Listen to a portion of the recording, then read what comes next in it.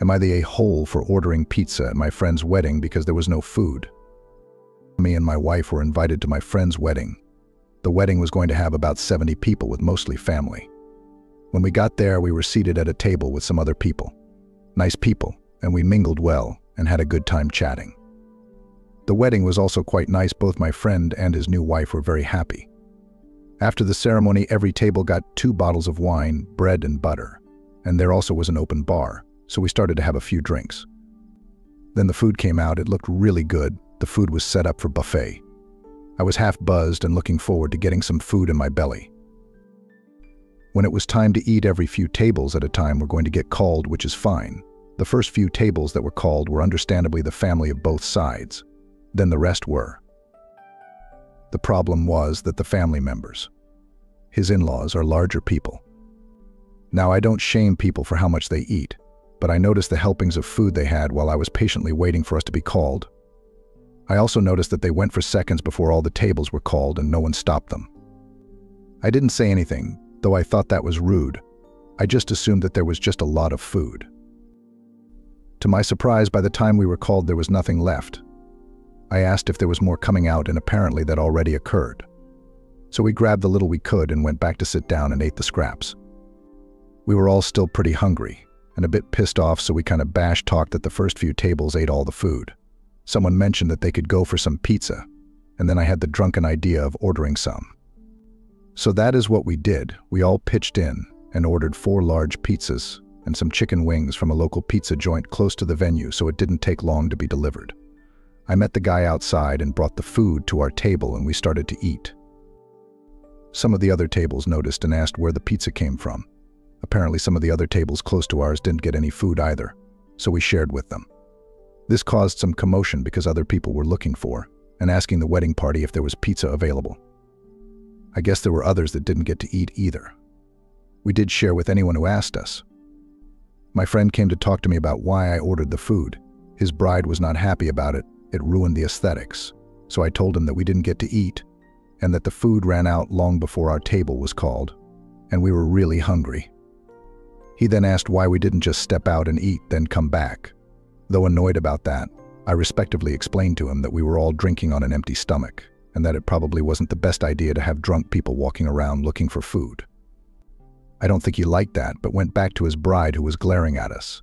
Like what were we supposed to do? Starve. This wasn't the end, though.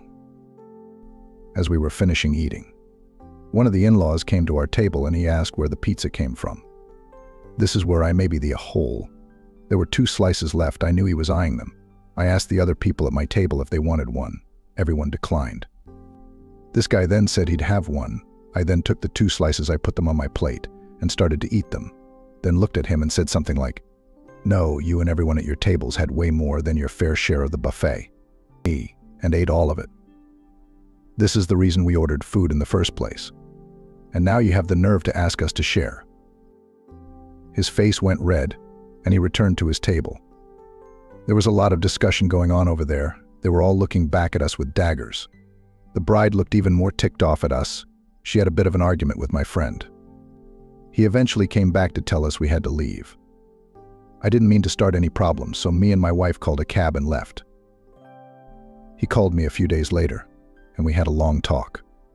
I explained my perspective, and he agreed that his in-laws were really rude for eating all the food and leaving most of the other guests with very little. A lot of people actually complained to him about it. Everyone was drinking thinking that there would be food and they were disappointed. He was upset with his in-laws because he told them how many guests there would be and to order the food for that many people. He also saw how much they were taking but assumed they ordered enough. He was wrong. He brought this up with his wife, and she said that apparently because the in-laws paid for the alcohol and the food they felt entitled to eat what they wanted, she was really mad at them and reamed them out for tainting her special day. He also said a lot of the other non-family guests started to leave soon after we left because they too were hungry. They still had fun celebrating, but it did kind of put a downer on their special day. Out of 70 people, about 30 left.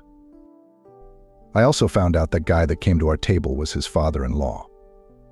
The father-in-law was really embarrassed by what I said to him. He felt pretty bad when he found out close to half the guests didn't get to eat anything and left early. So am I the a-hole?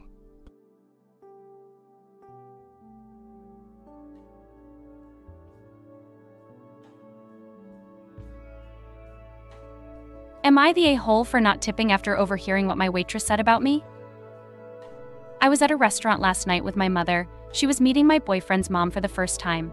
We're punctual people, so we got there about 30 minutes before our reservation. We got seated with no issues. It took the waitress 20 minutes to get to our table, even though the restaurant was pretty empty. Right away, I could tell that she didn't want to wait on us. She didn't greet us with a hello, she just asked what we wanted to drink.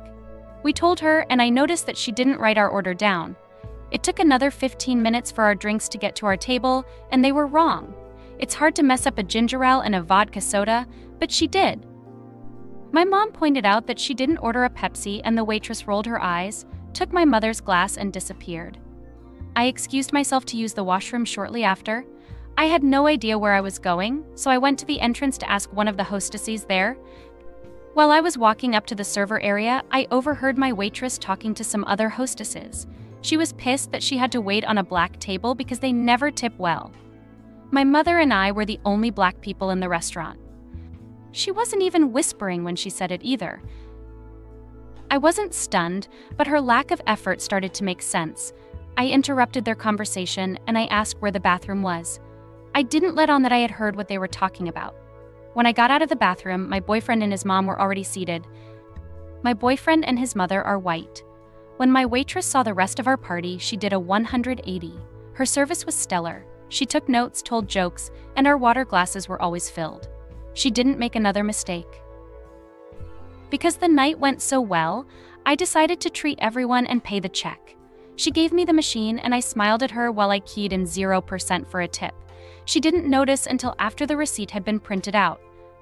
By that time, all of us had already started to leave. She tapped me on the shoulder and asked if I had made a mistake on the bill.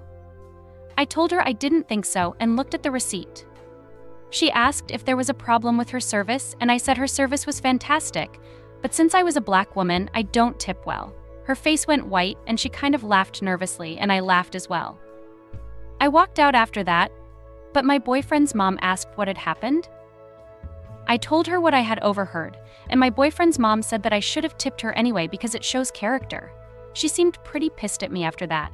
My boyfriend and my mom are both on my side, but I'm wondering if I should have just thrown in a $2 tip